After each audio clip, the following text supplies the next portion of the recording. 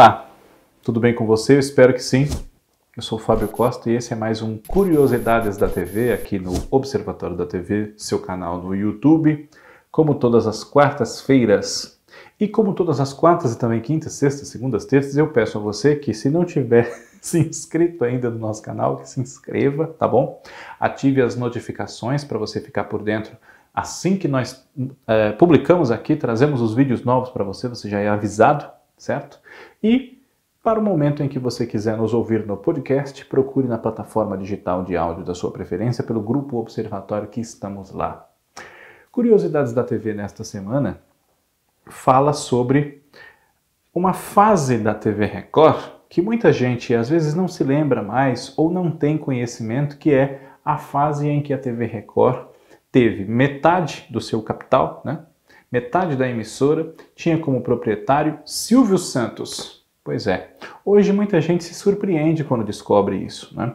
Primeiro porque isso não é muito falado, né? Nós conhecemos Silvio Santos como dono do Baú da Felicidade, dono da Jequiti, dono do SBT, né? E essa fase em que ele foi dono da Record, que durou aí quase 20 anos, né?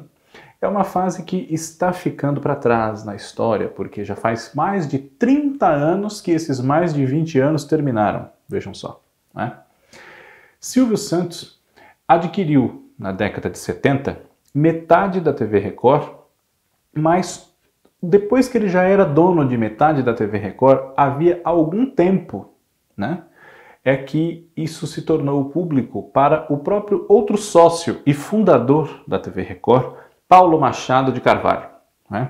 Em 1976, quando terminou um contrato que o prendia à TV Globo para apresentar o seu programa dominical e o impedia de ser proprietário de emissoras de televisão, foi que Silvio Santos pôde tornar pública a sua propriedade sobre metade dessa emissora, Canal 7, aqui de São Paulo. Né? A essa altura, ele já havia tentado comprar a TV Excelsior, já havia tentado uma concessão que foi, foi é, transferida, né, foi dada pelo governo federal para o Jornal do Brasil e também é, estava em vias já de conseguir o seu próprio canal de TV que estreou naquele mesmo ano de 1976. Aqui nas Curiosidades da TV existe um vídeo só sobre isso. A TVS, Canal 11 do Rio de Janeiro. Mas, com o fim do vínculo com a TV Globo, que o impedia de se dizer dono de qualquer emissora, e de ser né, dono de qualquer emissora, embora ele tenha infringido essa, essa cláusula, essa determinação, Silvio Santos, em 1976, após uma contemporização feita entre ele e Paulo Machado de Carvalho pelo então ministro das Comunicações, Euclides Quando de Oliveira, ele então foi é, aceito, digamos assim, como proprietário de metade da TV Record. Essa, essa relação entre os dois empresários, entre as duas partes, durou até 1989, quando tanto a família Machado de Carvalho quanto Silvio Santos venderam as suas respectivas metades da emissora para o bispo Edir Macedo, da Igreja Universal do Reino de Deus. Na época, o valor da compra girou em torno de 45 milhões de dólares para uma emissora que faturava 2, 3 milhões de dólares por mês, né? mesmo não estando nos seus melhores dias em relação à audiência. Né? Por quê? Depois de uma fase gloriosa na década de 60 e começo dos anos 70, a TV Record enfrentou muitos problemas. Né? Enfrentou muitos incêndios que prejudicaram a sua estrutura de produção, o seu poder de fogo, com perdão da expressão, já que eu acabei de falar em incêndios, né? diante da concorrência com outras emissoras, a TV Tupi, a TV Globo, que se expandia, né? e na ocasião não tinha nem 10 anos desde a sua fundação no Rio de Janeiro em 65, da TV Bandeirantes, que já funcionava desde 1967, né? Então, a TV Record enfrentou muitas dificuldades financeiras que impactaram o resultado da sua programação, o que ela poderia oferecer ao público na segunda metade dos anos 70 e em boa parte dos anos 80. Então a emissora recorria basicamente a programas religiosos em horários vendidos, né? uh, também a filmes nem sempre muito novos, ou se novos, nem sempre dos de melhor qualidade, os chamados filmes B, né? uh, filmes de animais assassinos extraordinários, aranhas, tarântulas, essas coisas, né? Uh, séries antigas, especialmente as cartazes de sessão Bang Bang, como Gunsmoke, né? Smith Jones e coisas assim, né? Chapa Howell, séries de faroeste de um modo geral, e também séries de detetive, né? como Barnaby Jones e afins.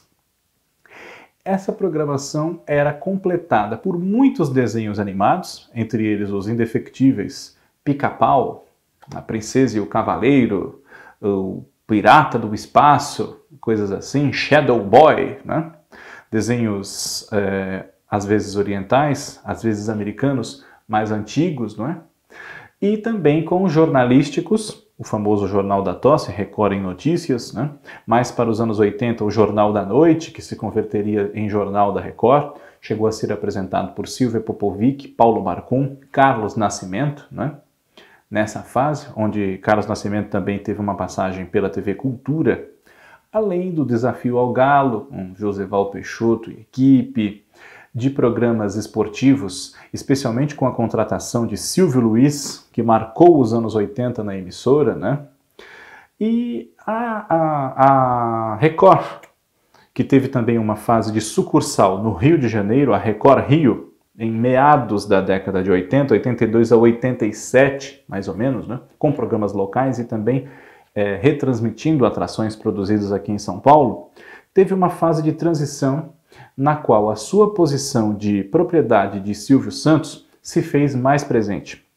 Foi quando ela eh, exibia programas que eram de responsabilidade dos estúdios Silvio Santos, herdados da TV Tupi, e que no Rio de Janeiro eram cartazes da TVS, antes da entrada no ar do que se considera o SBT em 81.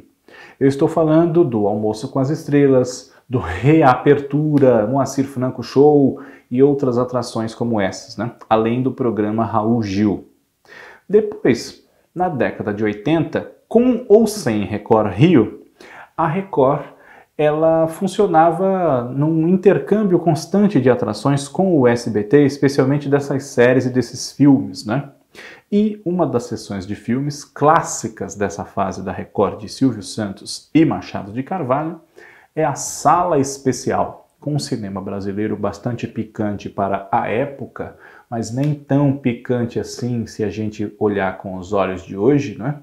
que exibia as famosas pornochanchadas, que no máximo tinham ali moças nuas ou parcialmente nuas, mas que diante de uma grande censura e das liberdades da época, que eram muito poucas eh, para esse conteúdo em relação ao que nós temos hoje, não é? Na internet, era uma sessão que fazia a alegria dos adolescentes, dos marmanjos, enfim, como queira, né? A sala especial.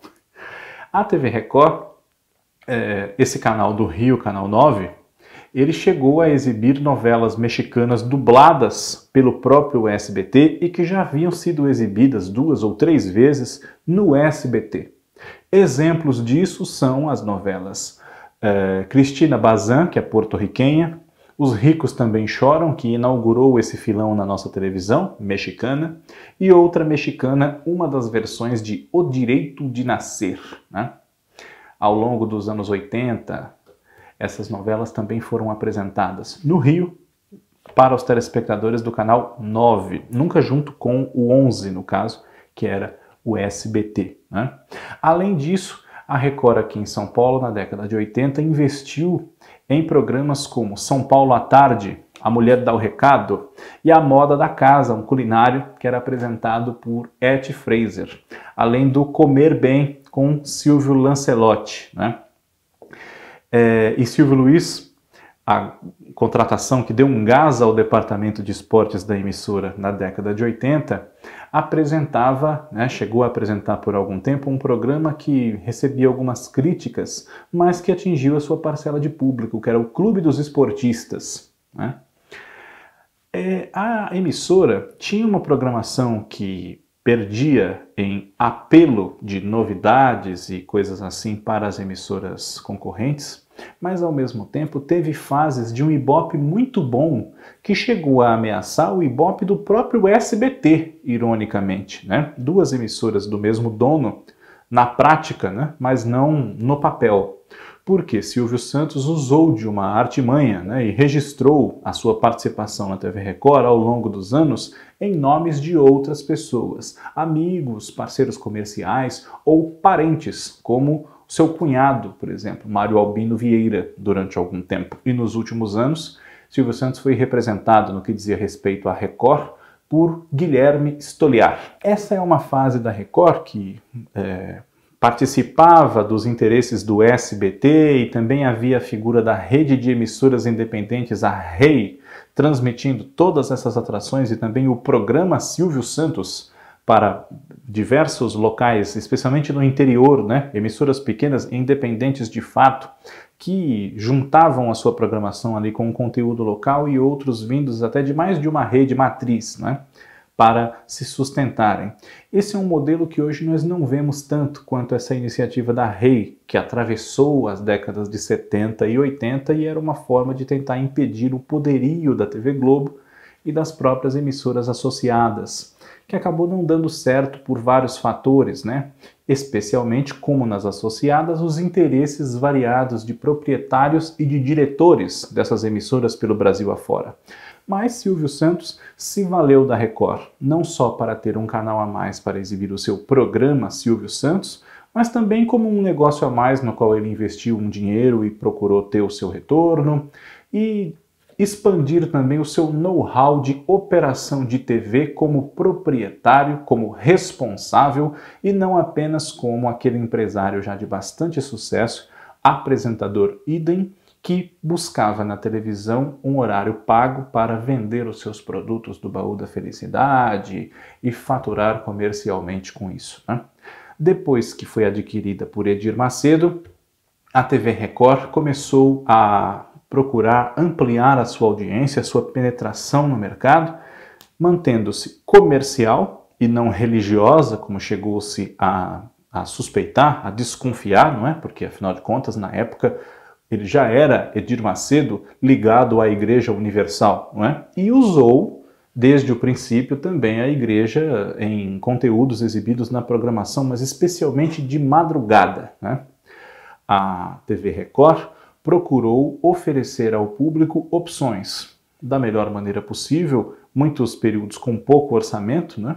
mas com valores artísticos interessantes, mesmo que nos filmes e séries antigos, já em reprise, né, que muitos consideravam de classe inferior até e criticavam muito pela qualidade que lhes faltasse, supostamente. Mas a TV Record representou uma opção e por isso mesmo, ao longo desse período mais difícil da sua trajetória, chegou a segundo, terceiro lugar de audiência com bastante frequência e conseguiu se sustentar até quando não foi mais interessante para nenhuma das partes e ela foi então vendida a Edir Macedo, que inaugurou uma fase de transição para o projeto de enfrentar de peito aberto a TV Globo, como ocorreu a partir do final dos anos 90 e década de 2000. Né? Os anos 90 para a TV Record, já sem Silvio Santos na administração, ou já sem Silvio Santos como dono, são uma época de reestruturação e de reidentificação com um novo público, que já não veria mais na Record essa dos tempos de Silvio e nem aquela Record dos tempos dos festivais e da família Trapo, que havia ficado num passado de glórias que se procurava reencontrar, embora em outras bases. Na próxima semana, Curiosidades da TV resgata mais uma passagem curiosa da história da TV para você. Um grande abraço, muito obrigado e até lá.